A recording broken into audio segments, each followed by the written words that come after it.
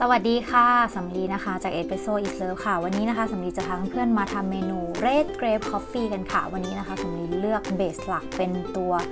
น้ำองุ่นแดงนะคะ จะเอามามิกกับตัวกาแฟนะคะ เมนูนี้นะคะก็จะเป็นเมนูอีกเมนูหนึ่งที่ดื่มง่ายๆนะคะ เหมาะสำหรับคนที่ เริ่มต้นดื่มกาแฟนะคะ โดยวัตถุดิบที่เพื่อนๆจะต้องเตรียมนะคะ ก็จะมีsyrup rose นะคะ แล้วก็เป็นน้ำองุ่นแดงนะคะ แล้วก็กาแฟค่ะ 3 อย่างหลักๆนะคะ อันดับแรกเลยนะคะสำลีก็จะสกัดกาแฟเอสเปรสโซ่นะคะ เมนูนี้นะคะสำลีจะใช้เอสเปรสโซ่เนี่ยทั้งหมด 2ช็อตนะคะนี่นะคะเมื่อสำลีบดเมล็ดกาแฟเสร็จเรียบร้อยก็จะเกลี่ยแล้วก็ tamp นะคะ แล้วก็ปัดปัดเศษออกแบบนี้นะคะ จากนั้นเนี่ยสมนีก็จะทำการสกัดกาแฟค่ะ ก็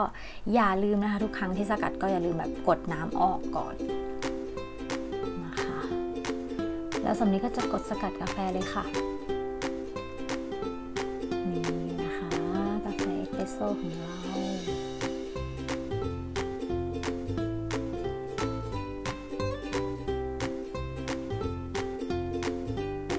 ที่เราใช้ 2ช็อตนะคะ เพราะว่าในเมนูนี้เนี่ยเราใช้ syrup rose แล้วก็ใช้น้ำองุ่นแดงนะคะ ซึ่งทั้งสองส่วนผสมเนี่ยมันจะหวาน ก็เลยต้องใช้กาแฟ2ช็อตค่ะ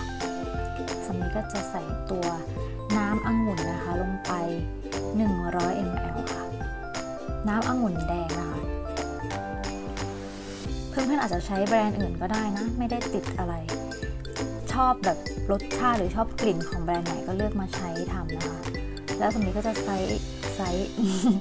สำลีก็จะใช้เป็น syrup rose นะคะ ปริมาณนะคะก็ 0.5 ออนซ์นะคะ syrup rose นะคะ ก็จะใส่ลงไป จากนั้นนะคะก็จะใส่น้ำแข็งเล็กน้อยนะคะ เพื่อที่จะใช้เวลาที่เราจะ shake เมนูนี้นะคะ เมื่อเราเตรียมส่วนผสม mix เรียบร้อยแล้วนะคะ ก็ใส่กาแฟลงไปแล้วก็ปิดฝา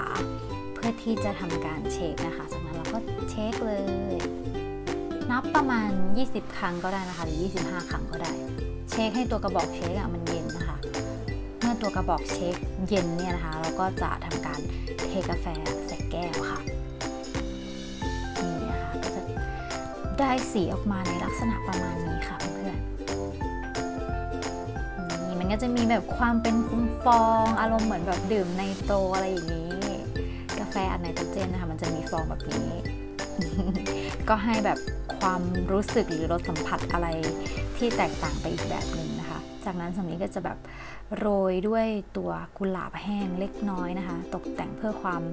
สวยงามทางตาเราเองนี่แหละค่ะนี่นะคะก็จะออกมาในลักษณะประมาณนี้ค่ะ ยังไงก็อย่าลืมไปลองทำกันดูนะคะ ถ้าชอบวิดีโอนี้ก็ฝากกดไลค์ กดแชร์ ฝาก Subscribe ให้ช่องสำลีด้วยนะคะ Search Espresso is Love ไม่ว่าจะเป็นช่องทาง YouTube Facebook นะคะ IG หรือว่า b l o g d i t นะคะ ก็สามารถไปตาม Subscribe สำลีได้นะคะ ตามช่องทางที่เพื่อนๆชอบเลยสำหรับวันนี้นะคะ ก็สวัสดีค่ะ แล้วพบกันคลิปหน้านะคะ บ๊ายบายค่ะ